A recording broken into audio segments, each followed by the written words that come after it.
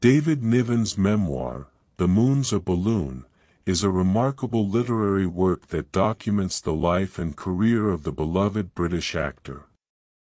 Through this captivating and witty memoir, Niven takes readers on a journey through his life, from his childhood in England to his success in Hollywood, revealing his thoughts, experiences, and emotions along the way. One of the most striking features of Niven's memoir is its narrative style. Niven's prose is straightforward and simple, yet vividly descriptive, allowing readers to visualize his experiences as if they were watching a film. He employs a conversational tone throughout the book, which gives the impression that he is talking directly to the reader, sharing his stories with sincerity and humor. For example, in one section, Niven describes his first meeting with the legendary actor, Laurence Olivier, in a humorous and self-deprecating manner. He writes, I sat there trembling and sweating, like a bulldog in a sauna, which not only creates a vivid image but also adds a touch of levity to the situation.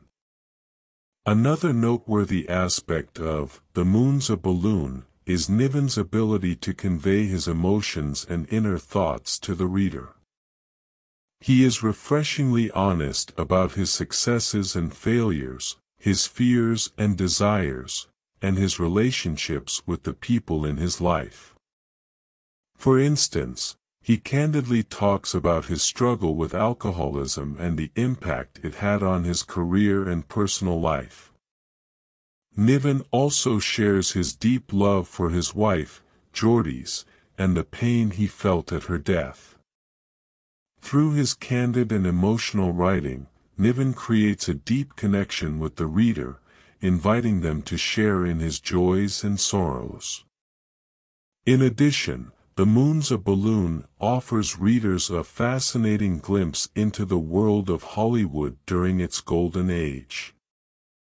Niven's stories about his experiences working with some of the biggest names in the industry, such as Errol Flynn and Clark Gable, are both entertaining and insightful.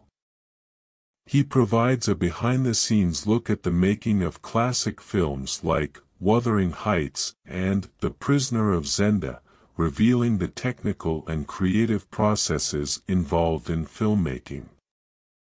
Niven's descriptions of Hollywood parties, where stars mingled with royalty and politicians, are also a delight to read, as they give readers a sense of the glamour and excess of the era.